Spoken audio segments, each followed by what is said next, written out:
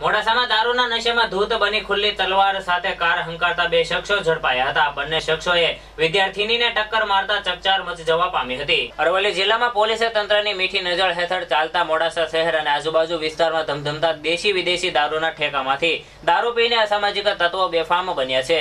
મોડાસાની નાલંદા એક સોસાયટી નજીક દારૂ પીધેલી હાલતમાં કાર હંકારી એક વિદ્યાર્થીનીને સાયકલની ટક્કર મારતા ભારે ચકચાર મચી જવા પામી છે. કાર ચાલકે દારૂ ગણેશપુરમાંથી ઝીંચ્યો હોવાથી કબૂલાત લોકો સમક્ષ કરી હતી. કારમાંથી ખુલ્લી તલવાર પણ મળી આવતા લોકોએ બંને શખ્સોને પોલીસને સોંપ્યા હતા. મોડાસામાં ખાખી વર્દીનો ખોફ ઓસરી રહ્યો હોય તેવા દ્રશ્યો મોડાસા શહેરની નાલંદા એક સોસાયટી નજીક ડીપી રોડ પર જોવા મળતા નગરજનોમાં ભારે આક્રોશ જોવા મળ્યો હતો.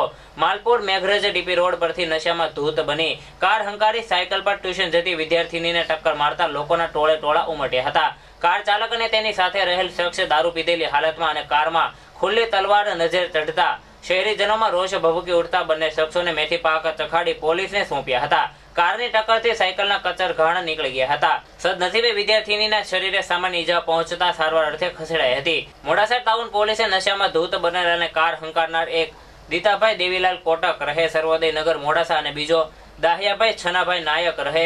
રેલવે ફાટક પાસે મોડાસાને ઝડપી પાડી જેલના સળિયા પાછળ ધકેલી દઈ પ્રોહિબિશન એક્ટ અને એમવી એક્ટ હેઠળ ગુનો નોંધી કાયદેસરની કાર્યવાહી હાથ ધરી હતી. ऋतुल प्रजापती आझाद न्यूज अरवल्ली.